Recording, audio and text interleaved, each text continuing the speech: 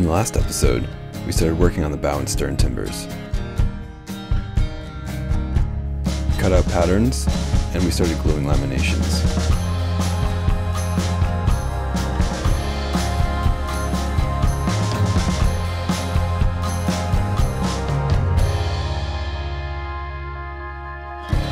In this episode, it gets a little steamy while we finish up the forefoot.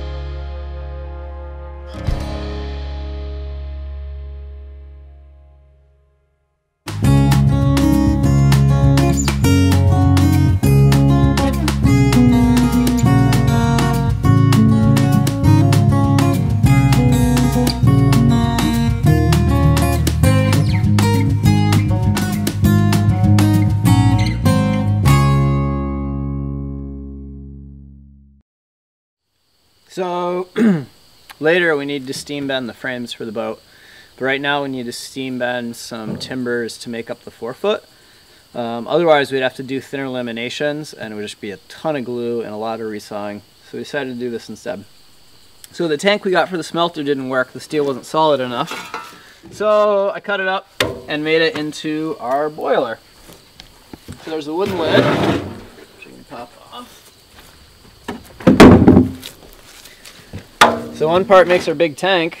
You know what? This would make one hell of a crawfish boil. um, anyway, so we got our tank, fill it full of water, and then the other half of it has become basically a wood stove.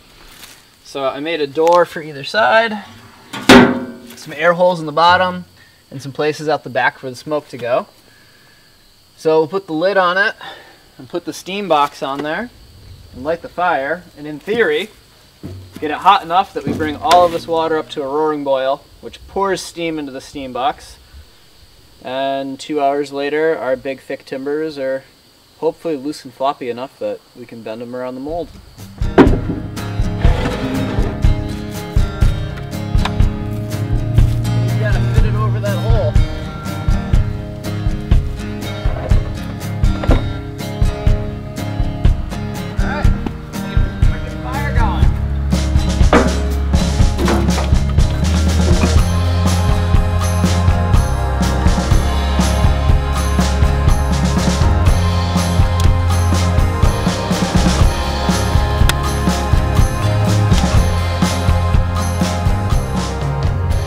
Get ahead of ourselves, we should probably explain why we're steaming these timbers.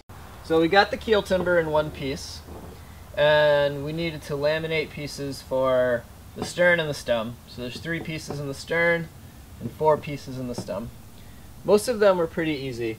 The forefoot, which is this part that joins the keel timber to the bow assembly, that was the trickiest one. And we can look at that in a little more detail.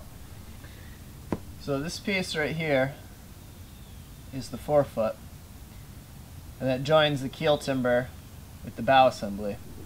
And if you think of the boat striking an object, say this pointer here, or hitting a big wave, this bow assembly wants to come back. Now this forefoot, there's a lot of other framing that helps stop that from happening, but this forefoot is a big piece of that. Uh, so it needs to be very strong, and it needs to withstand those forces. So the forefoot has to fit on top of the keel timber here, and so it has to be really wide. And then it tapers quite dramatically to where it meets the stem up here. So I think it's 6 inches to 14 or 16, something like that. And then back here, it's 2 or 3 inches thick, and here it's almost a foot. So you have this big timber that's short and wide that goes all of a sudden it tapers dramatically to narrow and deep. Uh, so to get that out of one balk of wood would be would be massive, or it would have to be something with some weird funky grain that grew just perfectly, the one in a million tree, uh, which we don't have. So we ended up steam bending it and doing you know the best we could to eliminate grain run out and have a really strong forefoot. So here we have all of the backbone timbers for Arabella, all the rough laminations and their corresponding patterns. So here we have the pattern for the forefoot, and I'm sitting on the actual forefoot. So one of the tricky things with this is the shape of it. So we have this ruler here that's about two inches thick, and that's roughly the thickness of the wood we had to work with for the laminations. So imagine if we kind of laid our beams like that, So that would be one, that would be two. That's pretty good, gives us a long, strong piece there. And then as we come up here, we start to run into issues. So this gets really short. That's not a very long glue line. The farther you go, the funkier that glue line becomes. So we could have tried to fit this out of one piece and put a scarf in. That's also less than ideal. Ideally, the timbers would go from one end to the other, and the grain would kind of make the same swoop as the timber. And ultimately, that's what we ended up doing. So we figured out if we took three beams and steam bent them, we could get one piece that went from the back of the forefoot all the way to the front and it would give us two layers on the top of the forefoot that were solid, continuous from one end to the other. We could steam bend a third layer in that would get us a good chunk of it. And then last but not least, we could just straight up glue on a couple boards and make up the very nose of it. And that way, when we have our bow assembly attached up here, and that's bolted onto our keel, and this wants to go this way, it's fighting that entire timber and that grain runs the entire way. And we don't have to worry so much about the grain run out breaking or the glue line being short and being weak. Um, so to do this, we ended up setting up the steam box and the generator and building a mold, kind of a rough framework of the arc that we needed to get, and then steam bent these timbers that I'm sitting on. And now we have the forefoot.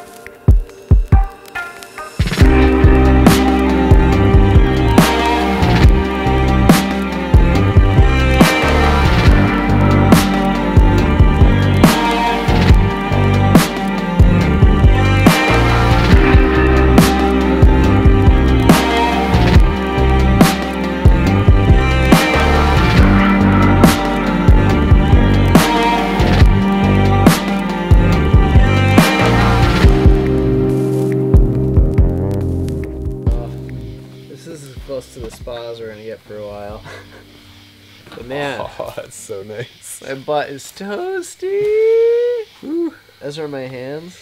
Oh.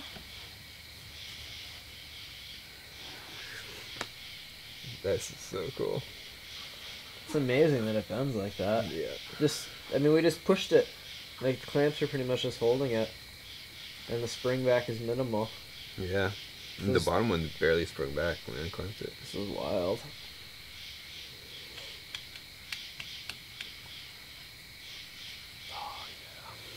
So this is going to be a big chunk of the forefoot. Your ass is going to be bolted to the keel. I'm going to be at the beginning of the stem. First part of the boat to smash into a wave or a reef. Hopefully not a reef. No, no reef. crazy to think if all goes well, we're going to live with this timber and go possibly see many oceans and many latitudes with it.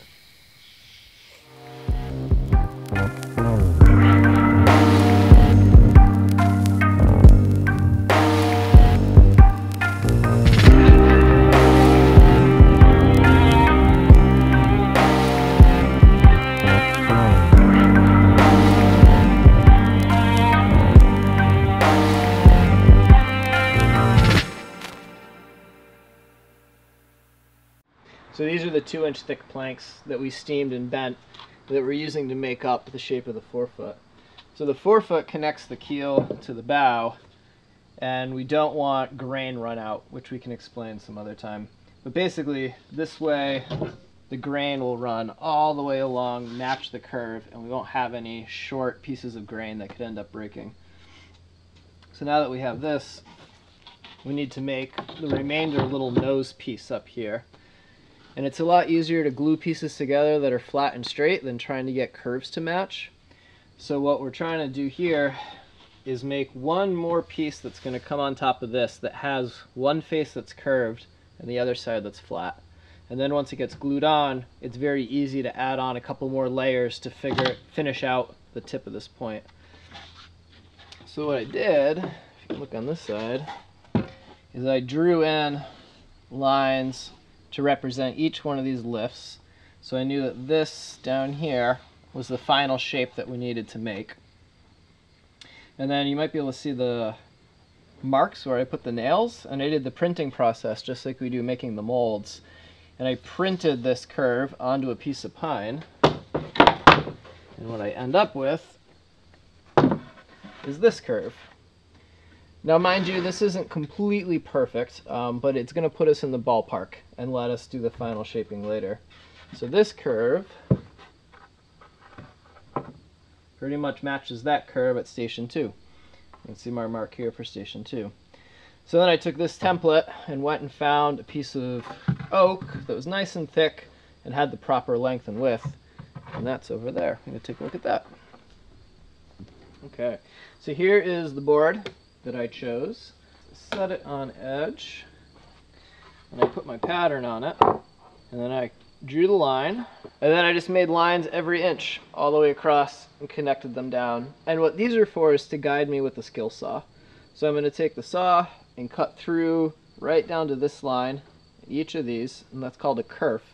And that makes it really easy to come through with the chisel, knock them all out, and get down to the rough shape pretty quickly, but also pretty accurately. And those cut lines will give me references every inch to make sure that I'm not going too deep. Once I have this all dished out, I can bring it over to the rest of the beams, put it on there, and do any final tracing, any final fitting uh, until it's a nice tight fit. So I'm going to wedge it back in here so it doesn't move while I'm working on it. Fire up the Skilsaw and I think it's 48 inches, so I should have 48, 49 cuts, something like that.